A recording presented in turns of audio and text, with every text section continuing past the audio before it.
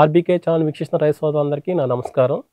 ఈరోజు అభ్యుదయ రైతు పరిచయ కార్యక్రమం కింద శ్రీ మల్లిరెడ్డి మురళిరెడ్డి గారు కృష్ణా జిల్లా ఏకొండూరు మండలం నుంచి కొండూరు గ్రామం నుంచి మన ఆర్బీకే ఛానల్కి రావడం జరిగింది. వీరు గత కొన్ని సంవత్సరాలుగా మామిడి రవాణా మరియు ప్యాకింగ్లో వివిధ రకాల నూతన పద్ధతులు పాటిస్తూ తోటి రైతులకు ఆదర్శంగా నిలుస్తున్నారు. ముందుగా మన ఆర్బీకే ఛానల్ ఇచ్చేసిన మురళీరెడ్డి రెడ్డి గారిని పరిచయం చేసుకుందాం. నమస్కారం అండి రెడ్డి గారు. నమస్తే అండి. ఆర్బికే రైతు సోదరులందరికీ నా నమస్కారాలు. నేను బిఏ కంప్లీట్ చేశానండి. ఓకే. వ్యవసాయం ఇప్పుడు ఏ- ఏ సంవత్సరం నుంచి వచ్చారండి మీరు? వ్యవసాయంలోకి మేము నైన్టీన్ ఎయిటీ సిక్స్లో వచ్చామండి. మా నాన్నగారి తర్వాత మేము ఈ మ్యాంగో గార్డెన్స్ చూసుకోవడం జరుగుతుంది. అక్కడి నుంచి మేము మామిడి తోటలు దానికి ఉత్పత్తులు వాటిని అమ్ముకోవడం కొనుగోలు ఇవన్నీ కూడా చేసుకుంటూ వచ్చామండి. మామిడి తోటలోకి వచ్చారు బాగానే ఉందండి. తర్వాత దాని నుంచి ఉత్పత్తులు కానీ అంటే మామిడి తోటలోని కొత్తగా రకాలు అదే ఏమేమి పండ్ల రకాలు వేసారండి మీ మామిడి తోటలోని? మనం మన మామిడి తోటలో చిన్న రసం పెద్ద రసం చెరుకు రసం సువర్ణరేఖ బంగినపల్లి మేజర్గా ఈ ఐదు రకాలు వేసి పండిస్తున్నామండి. ఓకే అండి. ఈ సోనరేఖ బంగినపల్లి రకాలు ఎన్ని రకాలు ఏ ఏ రకం బాగా మార్కెటింగ్ అవుతుందండి? చిన్న రసం ఈ ఇప్పుడు మనకి మంచి మార్కెట్ వచ్చిందండి. చిన్న రసం ఎందుకని అంటే ఈ పెద్ద పెద్ద చెట్లు నూజివేడి ప్రాంతంలో చిన్న రసాలు ప్రసిద్ధి. ఆ. పెద్ద చెట్లు ఇప్పుడు రియల్ ఎస్టేట్ వలన నా నరికేస్తున్నారు కాబట్టి ఇప్పుడు కొత్తగా ప్లాంటేషన్ తక్కువ నడుస్తుంది. ఎక్కువగా బంగినపల్లి వెరైటీను తోతాపూరి వెరైటీ నడుస్తుంది కాబట్టి నా సలహా ఏంటంటే రైతుల సోదరులకి చిన్న రసం మొక్క వేసుకుంటే మనకి ఎక్కువ ఆదాయం వస్తుంది. ఏ విధంగా అంటే చిన్న రసం అనేది మనకి ముందుగా వచ్చే వెరైటీ మనకి ముందుగా వచ్చే పంట. ముందుగా వస్తుంది అందువల్ల దాని దానికి రస చిన్న రసం మూడు రకాలుగా మనం సేల్ చేసుకోవచ్చు. ఒకటి పప్పులో తొలిత మనం మామిడికాయ చూస్తున్నాం కాబట్టి పప్పులో వేసుకోవడానికి. కూరల్లో గట్ట వాడుకోవచ్చు వంటల్లో గట్ట వంటలో వాడుకోవచ్చు. గట్రా వాడుకోవచ్చు. అలాగే. రెండోది మనకి జ్యూస్గా జ్యూస్ వెరైటీగా వాడుకోవడానికి అవకాశం ఉంది.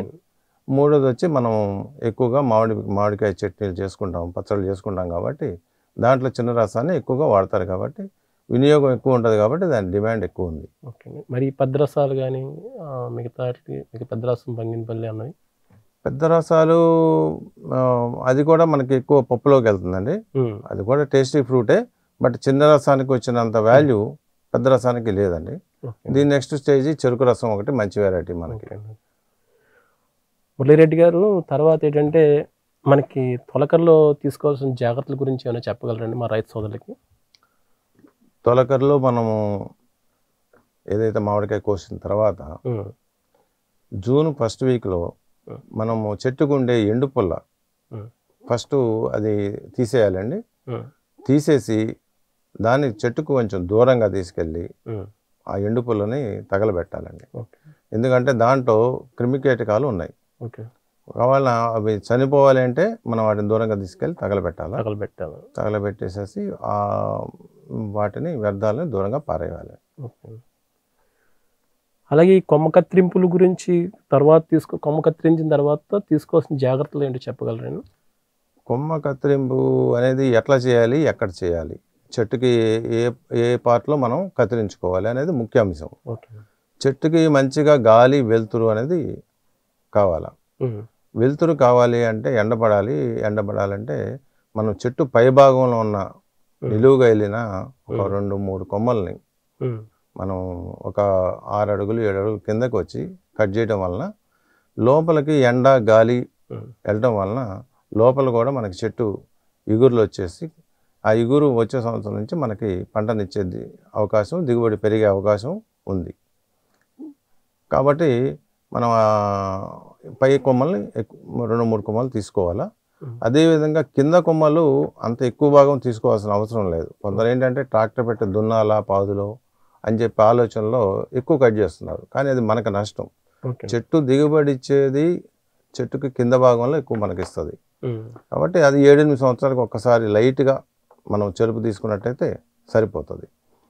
అదేవిధంగా ఈ కొమ్మలు నరికిన తర్వాత కోసిన తర్వాత దానికి బ్లేటెక్స్ మనము అప్లై చేయడం వల్ల ఎక్కడైతే కోస్తామో అక్కడ బ్లేటెక్స్ అప్లై చేయడం వల్ల ఆ కొమ్మ అనేది శ్రేష్టంగా ఉండిపోతుంది. ఓకే. తర్వాత ఇప్పుడు ఈ కొమ్మ కత్తిరించిన తర్వాత అనంతరం ఎరువులు వాడతారు కదండి.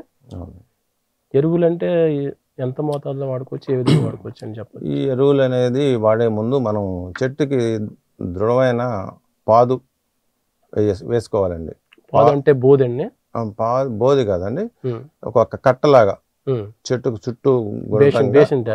లాగా గట్టిగా కొంచెం ఎత్తుగా వేసుకోవాలి. ఎక్కువ నీళ్ళు నిలబడేటట్టుగా వేసుకోవాలి. దాంట్లో మనం ఏదైతే సేంద్రియ ఎరువు కానీ లేకపోతే రసాయనిక ఎరువులు కానీ వాడేటప్పుడు సేంద్రియ ఎరువు మనము ఎక్కువగా ఒక రెండు వందల కేజీలు వరకు రైతు పశువు ఎరువు వేసుకోవచ్చు. అదేవిధంగా రసాయనిక ఎరువులు అనేది వేసినప్పుడు రసాయనిక ఎరువులు వేసిన ఎమ్మటే అంటే ఆ చెట్టుకు వేసుకున్నప్పుడే ఎమ్మటే నీరు ఆ పాదు నిండా పెట్టుకోవాలి. పెట్టడం వలన మనకి వందకు వంద పర్సెంట్ మనం వేసేది ఆ చెట్టుకు ఉపయోగపడుతుంది. మురళిరెడ్డి గారు ఇది మంచి నాణ్యమైన పళ్ళు ఉత్పత్తి చేయడానికి ఏ విధమైన చర్యలు తీసుకోవాలండి? మంచి పళ్ళుని మనము తయారు చేయవచ్చు. తయారు చేయవచ్చు అంటే మీరు అనేది ఇది పరిశ్రమ కాదు కదా సార్ ఎట్లా తయారు చేసుకోవాలి అనుకోవచ్చు. కానీ మన చేతిలోనే ఉంది.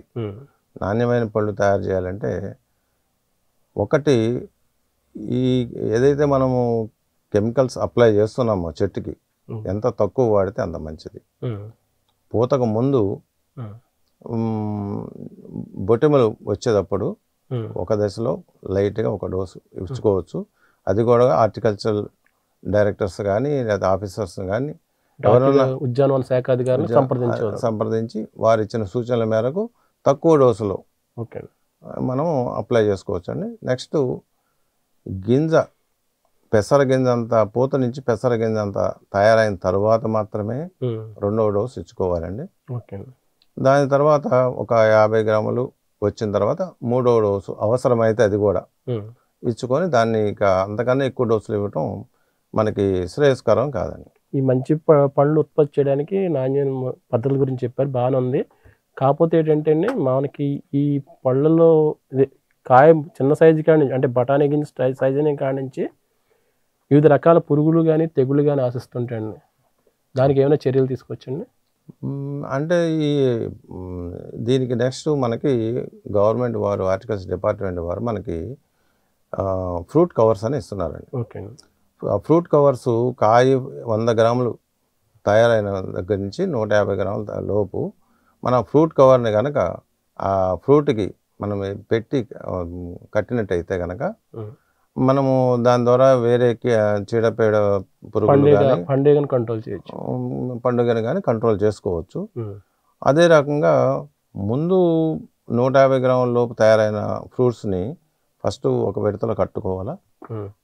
ఏదైతే ఫ్రూట్ కవర్ ఇచ్చారో దాని మీద ఒక నెంబరు ఉమ్. అని రాసుకోవాలి మనం స్కెచ్ నెంబర్. రాసుకోవాలి. నెంబర్ రాసుకోవాలి మనం స్కెచ్ పెన్తో దాని తర్వాత మళ్ళీ చిన్న ఫ్రూట్ మళ్ళీ పెరుగుతుంది. అన్నీ ఒకసారి రావు కదా.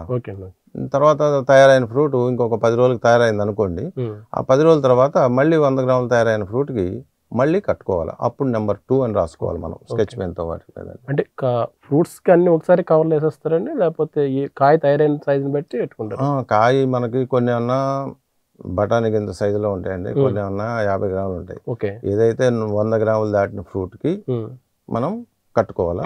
దానికి ఒక నెంబర్ అని వేసుకున్నాం. మళ్ళీ చిన్న ఫ్రూట్ మళ్ళీ పెద్దగా అయ్యేటప్పటికి వేరే వెనక పూత వచ్చింది. వాటికి మళ్ళీ రెండో నెంబర్ అని కట్టుకుంటామండి. ఉమ్, ఇంకేదన్నా కొద్ది గొప్ప వెనకాల వచ్చినట్లయితే. వాటికి మూడు నెంబర్. వేసుకుంటాం. ఇది ఎందుకు వేసుకుంటాం మనం ఈ నెంబర్లు అంటే మనకి హార్వెస్టింగ్ అప్పుడు కాయ కోసుకునేటప్పుడు మనకి ఆ- ఫ్రూట్ మళ్ళీ ప్రతిదీ ఓడిది చూసుకోలేం కాబట్టి నెంబర్ బట్టి నెంబర్ బట్టి ఆ ఒకటో నెంబర్ ముందు కోసుకుంటాం. రెండో నెంబర్ తర్వాత కోసుకుంటాం. మూడో నెంబర్ మూడోసారి కోతలో కోసుకుంటాం. ఇప్పుడు మీ ఏరియాలో కాయపుచ్చు అలాంటి ఏమైనా ప్రాబ్లం ఉంటుందండి? కాయపుచ్చు గురించి ఏమైనా చెప్పగలరా? కాయపుచ్చు మా ఏరియాలో తక్కువ అండి. ఎక్కడైతే నీరు అధికంగా ఉన్న ఏరియాలో ఉన్నదో ఏదైతే ఇసుక నేలలు ఉన్నాయో అట్టాడి నేలలో కాయపుచ్చు అనేది ఉందండి.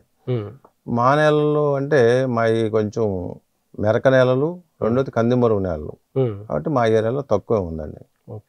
అంటే అది దానికి కూడా మీకు ఫ్రూట్ కవర్స్ వాడటం అనేది చాలా ఉపయోగపడుతుంది. ఇప్పుడు మామిడికాయలు తయారైపోయిన తర్వాత ఈ కోత అనంతరంలో కోత కోయడానికి ఏమైనా అనుభవాలు ఏమైనా ఉన్నాయి? దానిలో చెప్ తెలపగలరా మాకు? ఇదివరకు చెట్టు వెక్కి మనుషులు కాయ కోసేవారండి. కోసి కింద పడేసేవాళ్ళు పాతకాలంలో. పాతకాల పద్ధతి. దానివల్ల ఏమవుతుందంటే కాయ కింద పడినప్పుడు ఇసుక రేణు గుచ్చుకున్నా సరే. కాయ పండినాక కుళ్ళిపోతుంది. పచ్చికాయ మీద మనకు అర్థం కాదు. అది పండిన తర్వాత కుళ్ళిపోతుంది ఆ రకమైన విధానాలు మారిపోయి దాని తర్వాత మామూలు చిక్కాలు. కర్రకి చిక్కం కట్టుకొని మనం. కోసుకునే విధానం వచ్చిందండి. దాని తర్వాత ఇప్పుడు బ్లేడ్ చిక్కాలని గవర్నమెంట్ సప్లై చేస్తున్నారు సబ్సిడీలో మనకి. ఆ బ్లేడ్ చిక్కం పెట్టి మనం కోసుకునేటప్పుడు ఏమవుతుందంటే తొడుము ఒక రెండు అంగుళాల పైనకి మనకి కట్ అవుతుంది. కట్ అవుతుంది. దానివల్ల ఏమిటంటే ఆ కాయ మీద సొన పడదు. ఓకే సొన పడకపోవటం వల్ల ఏమవుతుందంటే కాయ శుభ్రంగా వస్తుంది. కాయ మీద పౌడర్ అనేది ఒకటి ఉంటుందండి. అది మనకి సరిగ్గా కాయ మొత్తం పండటానికి ఉపయోగపడే పౌడర్. అది న్యాచురల్ అది గాడ్ గిఫ్ట్ అండి మనకి. God gift. ఆ పౌడర్ అనేది మనం ఏమాత్రం తడిసినా కాయ పాడైపోతుంది. ఈ సొన పడి పడినా. పాడైపోతుంది. కాబట్టి ఆ పౌడర్ అనేది పోకుండా మనం కాపాడుకోవాలా.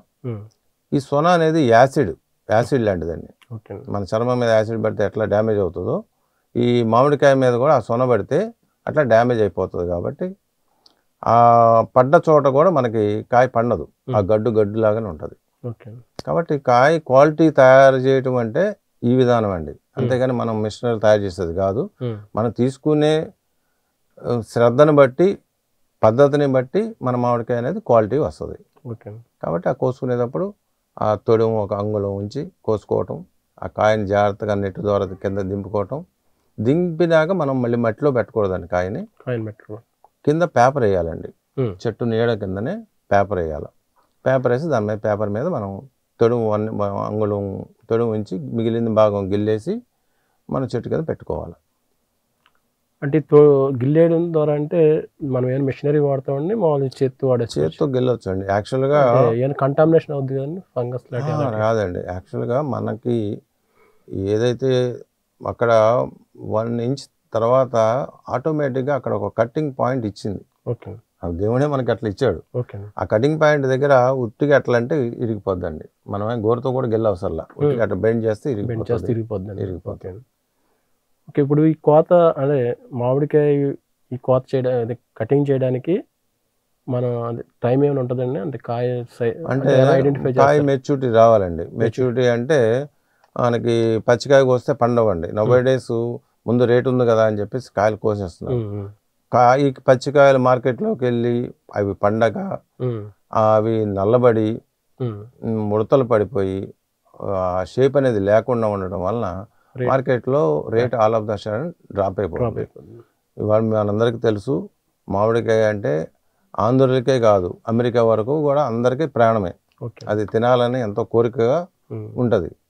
కాబట్టి అటువంటి కాయని మనం శుభ్రంగా చేస్తేనే శుభ్రంగా అందిస్తేనే మనకు ఆ రేట్ వస్తుంది. అందియాలంటే దానికి వయసు అంటే ఒక సెవెంటీ ఫైవ్ పర్సెంట్ మెచ్యూరిటీ వచ్చిన తర్వాత ఈ seventy five to eighty eighty five మధ్యలో మనకి ఆ కాయని హార్వెస్ట్ చేసుకోవాలండి. చేసుకున్న చేసుకోవటానికి ఎట్లా మెచ్యూరిటీ వచ్చిందని మనకు తెలియాలంటే రైతులకు సాధారణంగా అవగాహన ఉంది దాంట్లో. మనకి కాయ ఫస్ట్ సన్నగా వచ్చినా చివరికి వచ్చేటప్పటికి గుండ్రం షేప్ తిరిగి ఉమ్, భుజం అనేది వస్తుంది. ఓకే దాని తర్వాత మనకి ఈ చర్మంలో ఈ సూక్ష్మ రంధ్రాలు ఎట్లయితే ఉన్నాయో అట్లాగే మామిడికాయ మీద కూడా ఆ సూక్ష్మ రంధ్రాలలాగా ఏర్పడతాయి. ఓకే ఏర్పడి దాంట్లో నుంచి లైట్గా సోన వస్తుందండి. అదే మనకు గుర్తు. ఆ కాయని అప్పుడు మనం హార్వెస్ట్ చేసుకోవచ్చు. ఈ మామిడి కోత అనంతరం ప్యాకింగ్ ఏ విధంగా చేస్తారండి? వీటిని మళ్ళీ మనకి మనకి హార్టికల్చర్ డిపార్ట్మెంట్ వారు ఏదైతే ఎట్లయితే మనకి ఈ హార్వెస్టింగ్కి బ్లేడ్ నెట్స్ ఇచ్చారో అదేవిధంగా మనకి ప్లాస్టిక్ క్రేట్స్ ఇస్తున్నారండి. ట్రేస్ అండి? ట్రేస్ ఇస్తున్నారు. ప్లాస్టిక్. ట్రేస్. ఇస్తున్నారు. అవి ఇరవై కేజీలు మనకి పడతాయండి. ఒక ట్రేలో? ఒక ట్రేలో. ఈ పేపర్ మీద పెట్టిన ఏదైతే మన కాయలు ఉన్నాయో వాటిని ఒక రెండు గంటలు అట్లాగే చెట్టు కింద ఉంచి మినిమం ఒక టూ టు త్రీ అవర్స్ ఉంచి దాని తర్వాత ఈ ట్రేలో ప్రతి లేయర్కి మనం పేపర్ వేసుకుంటూ ఉమ్, మనకు వచ్చే న్యూస్ పేపర్ సరిపోద్దండి మన ఇంట్లో దొరుకుతాయి లేకపోతే షాప్లో దొరుకుతాయి తీసుకొని ప్రతి లేయర్కి కూడా పేపర్ వేసి వరుస వరుస వరుసకి ఒక వరుసే మనం మామిడికాయ పేర్చి మళ్ళీ రెండో వరుసకి మళ్ళీ పేపర్ వేసుకోవాలండి. రెండో వరుసకి పేపర్ వేసుకొని మళ్ళీ రెండో వరుస దానిపైన మూడో వరుస. ఇట్లా ఒక మూడు వరుసలు మాత్రమే. నాలుగో వరుస వేసామంటే మళ్ళీ మనం పైన పెట్టే ట్రే ఏదైతే ఉందో ఆ ట్రే కింద నొక్కుపోతుంది నొక్కుపోతుంది కాబట్టి పై వరుస మొత్తం డ్యామేజ్ అవుతుంది. డ్యామేజ్ కాబట్టి మనం తీసుకో మనం ఆ మూడు వరుసలు మాత్రమే పెట్టి అట్లా ట్రేలు మొత్తం నింపుకొని దాని తర్వాత మనకి ఏదైతే ట్రాన్స్పోర్ట్ మనకి అవకాశం ఉందో ఆటో అయితే ఆటో లారీ అయితే లారీ దాన్ని తీసుకొని వెళ్ళే విధానంలో మనం తీసుకెళ్ళొచ్చు అండి ఈ దీనివల్ల ఏమవుతుందంటే ఇదివరకు లారీలోనో ట్రాక్టర్లోనో పోసుకొని వెళ్ళిపోవడం లూజ్గా. ఆ విధానంలో ఆ బాడీలో ఏదైనా రేకులు లేసో అవి లేసో మనకు కాయలు గుచ్చుకొని డ్యామేజ్ అవుతుంది. కొద్దిగా కాదండి ట్వంటీ ఫైవ్ పర్సెంట్ మనకు డ్యామేజ్ అయిన సంఘటనలు ఉన్నాయి. కాబట్టి ఈ రకంగా తీసుకెళ్తే మనకి నైంటీ నైన్ పర్సెంట్ ఎక్కడ కూడా కాయ డ్యామేజ్ లేకుండా శుభ్రంగా ఉంటుంది. మనకి ఎక్కడ ఫర్దర్గా మనం పండేసినా కూడా కుళ్ళిపోకుండా ఉంటాయండి. ఓకే అంటే కొంతమంది మీరు ప్లాస్టిక్ ట్రేస్ అన్నారు కదా కొంతమంది బాక్స్ ప్యాకింగ్ అట్ట ప్యాకింగ్ చేస్తారు. దానివల్ల ఉన్నాయండి. ఇప్పుడు బాక్స్ ప్యాకింగ్ చేయాలంటే ఇప్పుడు మనకి లాంగ్ ఢిల్లీ వరకు వెళ్తున్నాయండి మార్కెట్కు. ఢిల్లీ వరకు వెళ్ళాలంటే మనకి ఇదివరకు రోజుల్లో వెదురుతో తయారు చేసిన. ఈత ఈతతో తయారు చేసిన బుట్టలతో పంపించేవాడు అవి లోడ్ ఎక్కువైపోయి ప్రెష్ అయ్యి నొక్కుపోయినాయి. ఓకే. దాని తర్వాత ఏంటంటే ఈ పేపర్ బాక్సెస్ వచ్చినాయి. పేపర్ బాక్సెస్ కూడా మనం పదమూడు లేయర్స్ మనం బాక్సులు పెంచేటప్పటికి. అవి కూడా బరువు అయ్యి నొక్కుపోతున్నాయి. కాబట్టి ఇప్పుడు ఈ ప్లాస్టిక్ రేట్స్ మనం పది లైన్లు కాదు పదిహేను లైన్లు వేసినా కూడా ఉమ్, ఆ ఫ్రూట్ మీద ఒత్తిడి పడతలేదు కాబట్టి ఈ కొత్త విధానానికి మళ్ళీ వచ్చాం అంటే ఇప్పుడు ప్లాస్టిక్ ట్రేస్ చెప్పారు కదా ప్లాస్టిక్ ట్రేస్ పైకి లాస్ట్ లేయర్కి అంటే ఇంకో బాక్స్ అంటే ప్రెస్ అవుదండి అది త్రీ లేయర్స్ మనం వేసుకుంటాం త్రీ. లేయర్స్ మనం వేసుకున్నాం అంటే నియర్ అబౌట్ మనకి ఒక పద్దెనిమిది కేజీలు వచ్చేస్తుంది. పద్దెనిమిది కేజీలు వచ్చేస్తుందండి. అదే ఒక ట్రే మనం విడిగా పెట్టుకున్నప్పుడు ట్వంటీ ట్వంటీ టూ కేజీస్ వస్తుంది. కానీ మనం సేఫ్ లాంగ్ వెళ్ళేటప్పుడు సేఫ్గా వెళ్ళాలి మన ఫ్రూట్ డ్యామేజ్ కాకూడదంటే. మనం త్రీ లేయర్స్ మాత్రమే వాడాలండి. ఓకే అండి ఓకే. ఈ మామిడి పళ్ళు ట్రేస్ మీరు ఎక్కడ దాకా ట్రాన్స్పోర్ట్ చేస్తారండి మనకి? ఏపీ మీరు మన జిల్లాల వరకునా లేకపోతే ఏపీలో లేకపోతే స్టేట్ ఆల్మోస్ట్ మనకి ఢిల్లీ దాటి పంజాబ్ కూడా మనకి అక్కడ పంపిస్తున్నారు. వెళ్తున్నాయండి. ట్రేస్లో ఓకే ఇప్పుడు మనకి ఒక సపోజ్ పండుకాయ కూడా పంపించాలనుకోండి. సెమీ రైపన్లో కూడా మనం పంపించుకునే అవకాశం ఉంది ఈ ట్రేలు అయితే. సెమీ రైపన్లో మనం పేపర్ బాక్సులు అయితే మనం పంపించలేం. కాకపోతే ఎక్స్పోర్ట్ ఎక్స్పోర్ట్ అయ్యేదానికి కూడా మన బాంబే నుంచి మనకి మేజర్ ఎక్స్పోర్ట్స్ నడుస్తున్నాయండి. ఈ ఈ క్వాలిటీ ఆఫ్ ఫ్రూట్ మనం అక్కడికి ట్రాన్స్ఫర్ చేయాలి అంటే ఈ ప్లాస్టిక్ ట్రేలే మంచి అవకాశం. ఓకే అండి అంటే ఇప్పుడు మనకి అంత దూరం పంపించారు కదా మళ్ళీ మరి ట్రేస్ ఎలాగండి మళ్ళీ? బ్యాగ్ కలెక్ట్ చేసుకుంటే దాని కాస్ట్ మీరు పే చేస్తే. లేదండి ఇప్పుడు మనకి ఒక ఒక లారీ నిండు బాక్సులు వెళ్ళి అనుకోండి మూడు లారీలు కానీ ఇటు నుంచి మనం పంపించినప్పుడు ఉమ్, అటు నుంచి వచ్చే రిటర్న్ లారీలు ఉంటాయి మనకి తక్కువ. కిరాయిలో. మూడు లారీలు ఇటు నుంచి వెళ్తే ఒక లారీలో అవి మొత్తం వచ్చేస్తాయండి ఇబ్బంది లేదండి. పర్లేదండి ముల్లిరెడ్డి గారి తర్వాత మీరు ఈ పండిన మామిడి పళ్ళని మీరు మార్కెటింగ్ ఏ విధంగా చేస్తారు చెప్పండి? ఇప్పుడు ఇది మార్కెటింగ్లో వచ్చేసేసి మూడు నాలుగు విధానాలు ఉన్నాయండి. ఇదివరకు కాలంలో ఇప్పుడు కాలంలో కూడా పచ్చికాయలు మనం డైరెక్ట్గా లోకల్ మార్కెట్స్ ఉన్నాయి హైదరాబాద్ మార్కెట్స్ ఉన్నాయి బాంబే మార్కెట్ ఉంది. పచ్చికాయలు పంపించడం ఒక విధానం అండి. ఈ పచ్చికాయలు పంపించినప్పుడు అది ఎక్కడికి పంపించినా మనం లోకల్ పంపించినా హైదరాబాద్ పంపించినా ఎక్కడికి పంపించినా మనం ఒక టెన్ పర్సెంట్ కమిషన్ ఇవ్వాల్సి ఉంటుంది. ఈ డ్యామేజెస్ నిమిత్తం ఒక టెన్ పర్సెంట్ కట్ చేస్తారు వాళ్ళు కూడా. ఒక ట్వంటీ పర్సెంట్ మనం లాస్ పోతున్నాం. ఓన్గా మార్కెటింగ్ చేసుకోవాలి అంటే అది ఆ ట్వంటీ పర్సెంట్ కూడా మనం గెయిన్ అవ్వాలి. దానికన్నా కూడా అధికంగా అధికంగా మనకి ఆదాయం రావాలి అనుకున్నప్పుడు చిన్న రైతు ఎంత చిన్న రైతు అయినా కానీ పెద్ద రైతు అయినా కానీ వాళ్ళ స్థాయిని బట్టి ఈ ట్రేస్లో కాయలను తీసుకెళ్ళి గవర్నమెంట్ వారు కొన్ని రేపరింగ్ ఛాంబర్స్ ఏర్పాటు చేశారు. ఓకే అట్లాగే ప్రైవేట్గా కూడా రేపరింగ్ ఛాంబర్స్ మనకి హైదరాబాద్లో ఉన్నాయి. ఇక్కడ లోకల్లో కూడా మన జిల్లాలో కూడా ఉన్నాయండి. ఈవెన్ మనకి విజయవాడలో కూడా ఉన్నాయండి. వాటిలోకి తీసుకెళ్ళి మనం పండేటాకి ఇస్తే వాళ్ళు రూపాయి నుంచి రూపాయిన్నర వరకు ఒక కేజీకి తీసుకుంటారండి. తీసుకొని మనకి పండించి మూడో రోజు మనకు అప్పు చెప్తారు. ఓకే. దీనివల్ల ఏంటంటే కెమికల్స్ అవి ఇవి వేసేసి లేకపోతే కార్బైడ్ వేసేసి అట్లా వేసి వేసి మనం ఆ ఫ్రూట్ని ఇంకా డ్యామేజ్ చేసి అది మనం తినే కన్నా ఈ గవర్నమెంట్ ఏదైతే అనుసరించమందో ఆ పద్ధతులు అనుసరించినప్పుడు మన హెల్తీ కూడా బాగుంటుంది. ఆ రకమైన విధానం తీసుకొని ఎక్కడైతే మార్కెట్లో మనకి హోల్సేల్ అయితే మనకి పదిహేను రూపాయల మించి రావో ఆ పదిహేను రూపాయలకు ట్వంటీ పర్సెంట్ కట్ అవుతుందో దాన్ని అధిగమించాలంటే మనం ఈ కాయలు పండించుకొని ఎవరైతే కన్జ్యూమర్ కన్జ్యూమర్ మనకి సుమారుగా ఒక అరవై రూపాయలు డెబ్బై రూపాయలు బే చేస్తున్నారు ఒక కేజీ మీద అండి. మనం వాళ్ళకి డైరెక్ట్గా మనం ఒక ఫార్టీ రూపీస్కి అమ్ముకున్నాం అనుకోండి మనకి నేను బట్ డబల్ దాన్ని మార్కెట్లో అమ్మిన దానికన్నా డబల్ పైన వస్తుంది మనకి. మార్కెట్లో పదిహేను రూపాయలకు అమ్ముకొని ట్వంటీ పర్సెంట్ పోయిన దానికన్నా మూడు రెట్లు మనకి అధికంగా వస్తుంది. ఆ రకంగా మనం ఏదైతే గవర్నమెంట్ ఏర్పాటు చేసిన సేల్ పాయింట్స్ అమ్మకానికి మనకి షాపులు కొన్ని ఏర్పాటు చేశారు కొన్ని కొన్ని ప్రదేశాల్లో. ఆ ప్రదేశాల్లో మనం రైతుగా అందరం వెళ్ళలేకపోవచ్చు. ఇంటి బాధ వెళ్ళలేము. పగలు తోటలోకి వెళ్ళేది తండ్రి వెళ్తే కొడుకు వెళ్ళి సేల్ చేసుకోవచ్చు. కొడుకు వెళ్తే తండ్రి వెళ్ళి సేల్ చేసుకోవచ్చు. ఆ రకంగా సేల్ చేసుకుంటే మనకి రెండు మూడు సంవత్సరాలు వచ్చే ఆదాయం ఒక మొదటి సంవత్సరంలో వస్తుంది. మనం కష్టపడాలా రైతులం కాబట్టి కష్టపడి చేసుకోవాలి. ఇప్పుడు మీరు ఎక్కడైనా స్వతహాగా స్వ- షాప్ పెట్టి ఎక్కడైనా అమ్మారండి మామూలుగా అమ్మేమండి. అంటే ఎక్కడ మేము తోట దగ్గర అమ్మేశారా ఎక్కడైనా మేము హైదరాబాద్ తీసుకెళ్ళామండి. ఇదివరకు రోజుల్లో మేము మార్కెట్కి తోలేవాళ్ళం. తర్వాత మేము మార్కెట్ పెట్టాము. మార్కెట్ పెట్టి మేము కూడా పక్కన వాళ్ళు కూడా కాయలు కూడా తీసుకున్నాము. దాని తర్వాత ఈ ఆ రోజుల్లో కాయలు డ్యామేజ్ ఎక్కువ రావడం వల్ల ఆ షాప్ బంద్ చేసాం. ఇప్పుడు కొత్త విధానం కొత్త టెక్నిక్స్ వచ్చినాయి కాబట్టి మళ్ళీ పునఃప్రారంభించామండి. హైదరాబాద్లో హోల్సేల్ పండించి అమ్మే కాయలు మేము మా తోటలో మాకు టూ ఇయర్స్ నుంచి స్టార్ట్ చేసి అమ్ముతున్నామండి. సుమారుగా ఒక వంద నుంచి నూట యాభై టన్నులు అమ్ముతున్నామండి. ఓకే. సొంతంగా. ఎట్లా అంటే పెద్ద పెద్ద సూపర్ మార్కెట్స్ ఉన్నాయండి. హైదరాబాద్ అంటే దగ్గర దగ్గర రెండు వేల పైన సూపర్ మార్కెట్స్ ఉన్నాయి. అన్ని అన్ని సూపర్ మార్కెట్లకి మనం అమ్ముకోవాల్సిన అంత అవసరం లేదు. మనకు ఒక పది షాపులకు చూసుకొని వాళ్ళకి హోల్సేల్గా మనం ఫార్టీ రూపీస్ చొప్పున అమ్ముకోవచ్చు. అక్కడే అదే షాపులో రిటైల్గా పెట్టుకుంటే మనకి ఎనభై రూపాయల దాకా అమ్మకం వస్తుంది ఇక్కడ పదిహేను రూపాయల దగ్గరది అక్కడ మనకి ఎనభై రూపాయలు ఉన్నా ఆ షాపు అద్దె ఉన్నా ఇబ్బంది లేకుండా మనకి మంచి ఆదాయాలు వస్తాయండి. అంటే మనకి ఇక్కడ విజయవాడ దగ్గరలో ఇక్కడికన్నా హైదరాబాద్ సేల్ ఎక్కువ ఉంటుందండి మరి హైదరాబాదు జనాభా కోటి కోటి జనాభా కన్నా ఎక్కువ ఉంది కదండి రెండు మనమైనా మామిడి తోటలు పక్కనే ఉన్నాం. అంటే విజయవాడ అంటే ప్రతి వాళ్ళకి మామిడి తోట కాబట్టి ఇక్కడ అంత నీడ్ లేదు. నీడ్ ఉండదు. ఓకే. అది హైదరాబాద్ అంటే వేరే వేరే రాష్ట్రాల నుంచి వచ్చిన వాళ్ళు ఉన్నారు. ఓకే.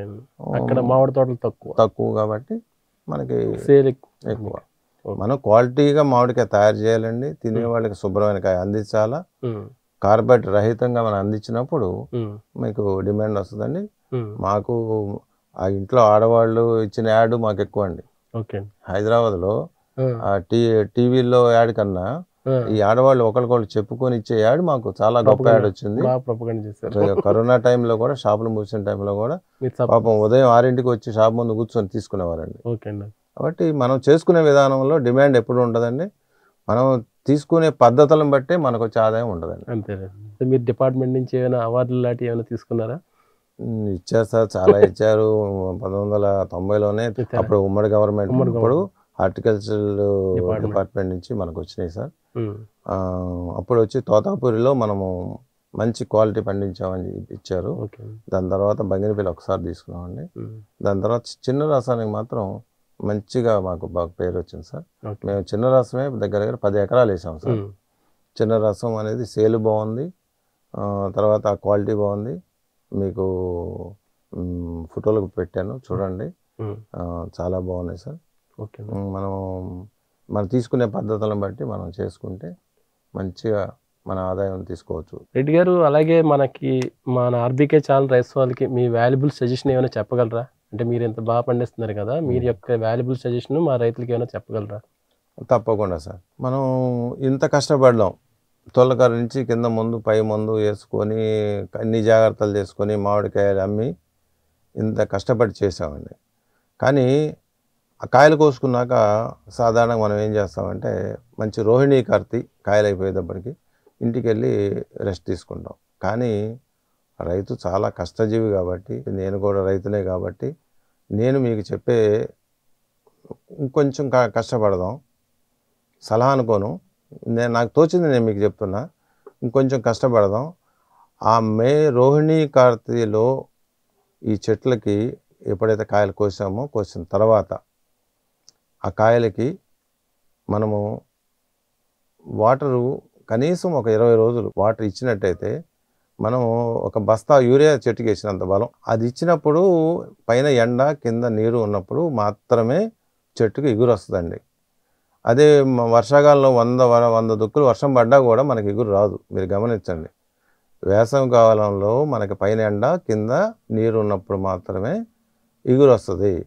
ఈ ఎగురు మూడు సార్లు వచ్చినట్టయితేనే నెక్స్ట్ ఇయర్ మనకి ఆ దాంట్లోంచి పూత వస్తుంది.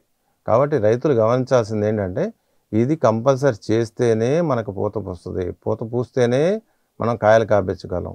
కాయలు కాపిస్తేనే మనకు ఆదాయం రాగలదు కాబట్టి ఇదొక్క సూచన నా ద్వారా పాటించి మీరు కూడా మంచి ఆదాయాన్ని పొందగలరని విశ్వసిస్తున్నాను. మురళీరెడ్డి గారు ఇందాక మీరు ట్రేస్ గురించి చెప్పారు కదా? అవునండి. ఈ ట్రేస్ మీకు ఏమైనా డిపార్ట్మెంట్ ఏమైనా సబ్సిడీ నుంచి వచ్చిందా? మీరు ఏమైనా సొంతగా కొనుక్కున్నారా?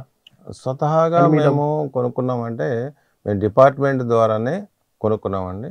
డిపార్ట్మెంట్ ద్వారా మనకి దగ్గర దగ్గర ఫిఫ్టీ పర్సెంట్ రాయితీ మీద మనకి ట్రేస్ కానీ కటింగ్ బ్లేడ్స్ కానీ అదేవిధంగా ఫ్రూట్ కవర్స్ కానీ మరి హార్వెస్టర్స్ కటింగ్ హార్వెస్టర్స్ కానీ ఇవన్నీ కూడా డిపార్ట్మెంట్ సప్లై చేస్తుందండి. అంటే ఇక్కడ కృష్ణా జిల్లా డిపార్ట్మెంట్. కృష్ణా జిల్లా ఉద్యాన శాఖ. మనకి అదే అదే మండలంలో మండల హెడ్ క్వార్టర్లోనే మనకి హెచ్ఓ గారు హెచ్ఓ గారు ఇస్తున్నారండి. అంటే మీ మండలం ప్రకారం మీ మండలంలో ఉన్న రైతుల సోదరులకి హెచ్ఓ గారిని కలిస్తే ఈ సబ్సిడీ మీద ఏమైనా ఇస్తారు కదండి? ఇస్తారండి. తప్పనిసరిగా ఇస్తారు. కాకపోతే ఒక నెల ముందు మనకి మన రిక్వైర్మెంట్ ఏదో తెలపాలా? రిక్వైర్మెంట్ తెలిస్తే వాళ్ళు తెప్పించి ఇస్తారండి కొంచెం టైం వచ్చి హెచ్ఓ గారిని కలిస్తే అవును. చెప్తారు. అవునండి. మురళీరెడ్డి గారు ఎంతవరకు మీ యొక్క అనుభవాలను మా రైతు సోదరులకి తెలిపారు. ధన్యవాదాలండి. నాకు ఈ అవకాశం ఇచ్చిన ఉద్యానవన శాఖ మరియు ఆర్బీకే ఛానల్ వారికి నా ధన్యవాదాలు. చూసారు కదా ఈనాటి కార్యక్రమానికి మల్లిరెడ్డి మురళీరెడ్డి గారు తన యొక్క అనుభవాల్ని మన ఆర్బీకే ఛానల్ ద్వారా పంచుకోవడానికి ఇచ్చేస్తున్నారు అలాగే మరి కార్యక్రమంతో అదేవిధంగా రేపు మరొకసారి కలుద్దాం. అంతవరకు సెలవు.